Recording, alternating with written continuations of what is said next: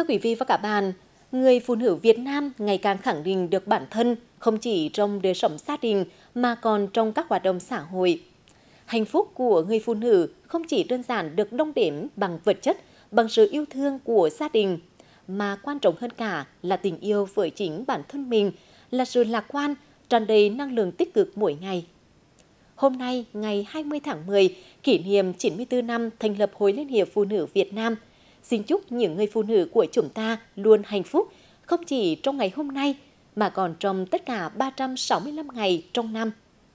Nhân ngày Phụ nữ Việt Nam, chúng tôi xin giới thiệu một tấm gương phụ nữ luôn năng động, nhiệt huyết với công việc, gắn bó với bà con nông dân. Đó là chị Lê Thị Hiểu, Phó Chủ tịch Ủy ban nhân dân xã Do Mỹ, huyện Do Linh.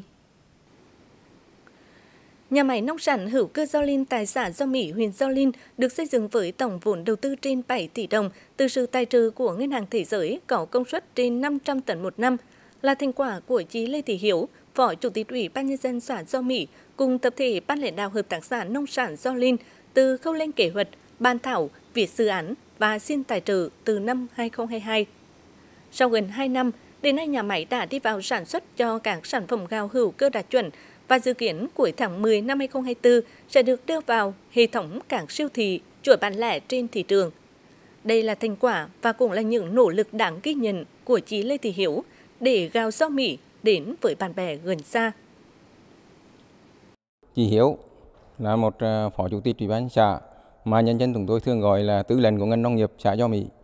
Chị đã có cái những cái ý tưởng, có những đề án và theo hướng nhận cấp trên thì chị đã nhiệt tình trong công việc chạy từ dự án à, đầu tư cho đến khi xây dựng và đến khi hướng dẫn bàn giao sử dụng và cho đến hôm nay thì có hiệu quả. Phải nói rằng là đánh giá rất cao về vai trò của chị là phó chủ tịch năng động, sáng tạo và tiếp cận được cái mới để đem lại nhằm để à, cải tạo đưa cái nền nông nghiệp của xã cho Mỹ ngày một tiến lên từ giai đoạn đầu và cho đến giai đoạn hiện tại thì vai trò của chị rất tích cực và để đề ra một cái khởi sắc mới cho nông nghiệp à, hữu cơ do linh phát triển mình. Sinh ra từ làng quê, gắn bó với đồng ruộng. Dù ở vai trò là cán bộ thôn, chủ tịch hội liên hiệp phụ nữ xã và nay là phó chủ tịch ủy ban nhân dân xã,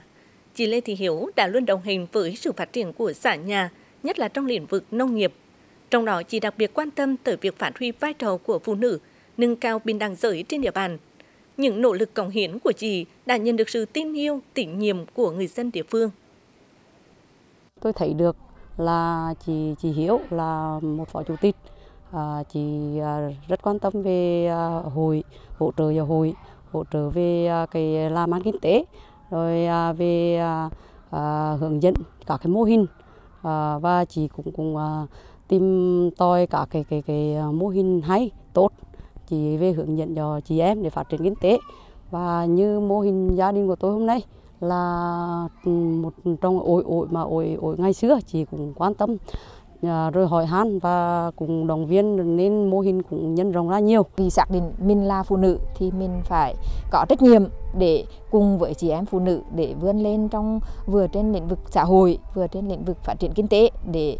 uh, giúp cho chị em phụ nữ ngày càng phát triển và uh, trong đó thì nâng cao cái vị thế và đời sống của chị em thì à, với cái bản thân cũng rất là tâm huyết. Đến à, bây giờ thì à, đa số phụ nữ ở địa phương cũng trong cái vấn đề bình đẳng giới, rồi về trong về vấn đề vấn đề về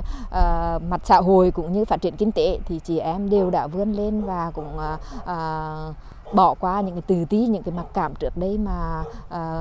có thể là cứ phân biệt vai trò đó là nam giới mà mình là phụ nữ không làm được, nhưng bây giờ đã khẳng định được mình là phụ nữ, tất cả mọi cái mình nam giới làm được, mình cũng làm được. Với sự nhiệt tình, năng động, nói đi đôi với làm, chị Lê Thị Hiếu nhận được nhiều bằng khen, dễ khen sự ghi nhận của cả cấp. Và quan trọng hơn cả chính là sự yêu quý tình nhiệm của người dân địa phương nói chung, chị em phụ nữ nói riêng.